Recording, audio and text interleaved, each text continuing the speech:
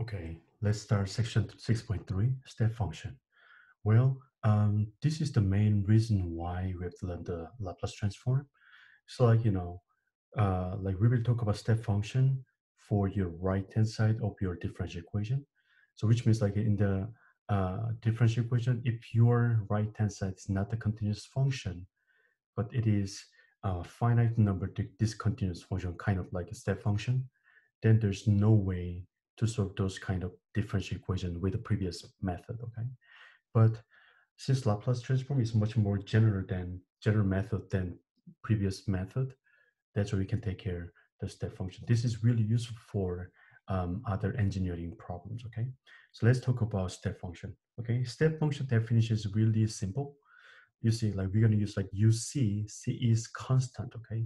Any point on the number line. So like UC of t means before the point C, your function value was zero, and after C, it will become a one. Is that okay? So, um, so let me give you the graph of this okay? The step function means this is t. Okay, there is c. Then before c, it was zero. And would be one from that point and forever. Is okay?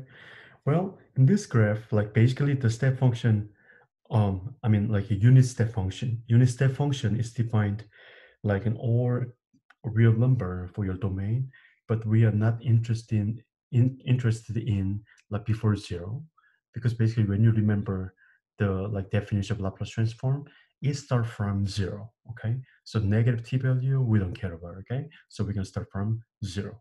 Okay, and also um, that's what I said. Oh, is here. Since the Laplace transform is involved with uh, t, which is in the uh, non-zero real number, we are only interested about like this value. Okay, before zero, it doesn't matter. Okay.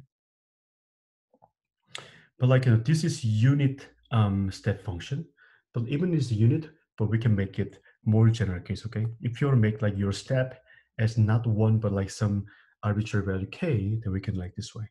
y is equal to k times uc t, okay? So which can be drawn like this way. As you talked about it, like, you know, this side is just zero, but some point which is c is empty, but it will be k. Okay. This is the like more general case of the uh, uh, step function. Okay. So if you want to uh, like you know opposite way, which means like what about this one?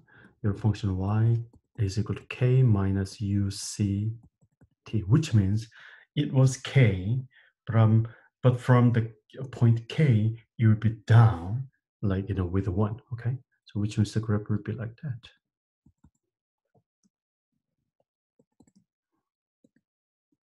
It was k. But at some point which is c it will be can you guess?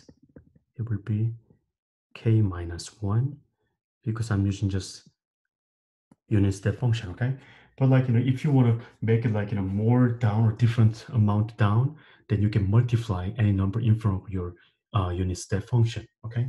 This is basic idea of step function, okay? Let me give you a couple of examples, then it much easier to understand. Okay, here we go. So what is this one?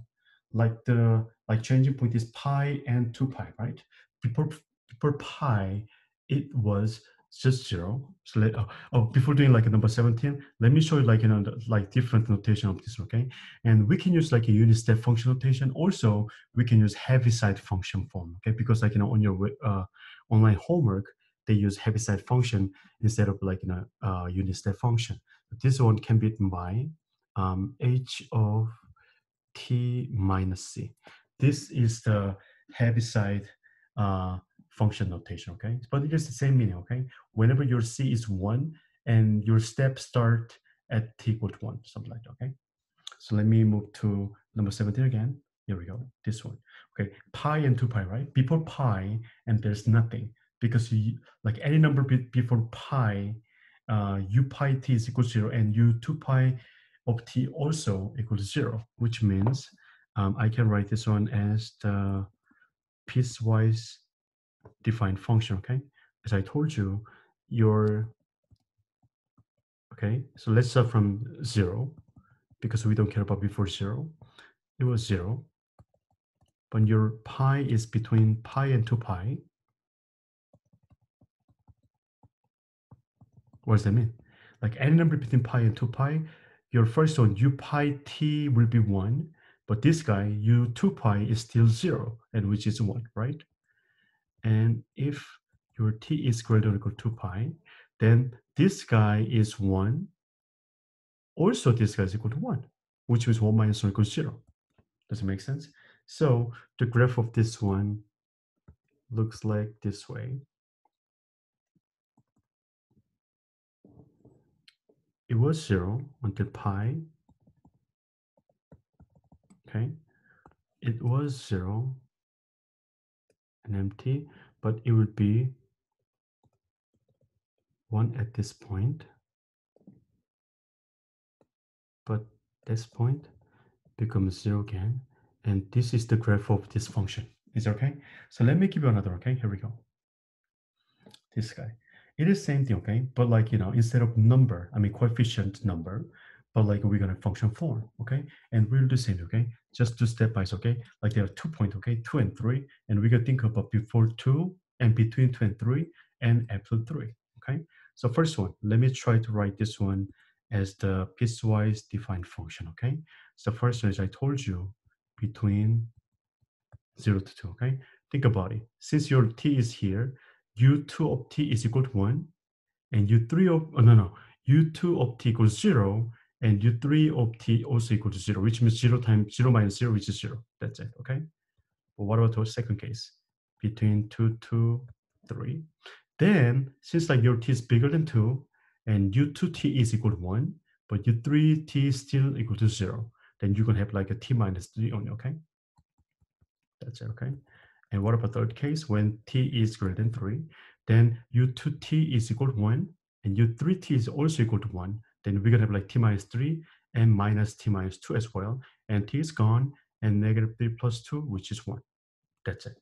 Is it okay? Oh, I'm sorry. Negative 3 plus 1, which is negative 1, right?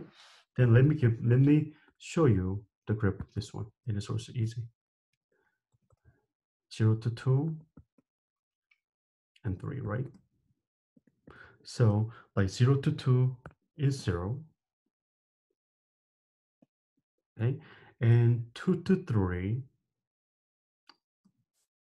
is um, t minus 3. Okay. So which means like when x equal to, eh, when t equal 2 is negative 1. When t equal 3, it will be 0. Like that.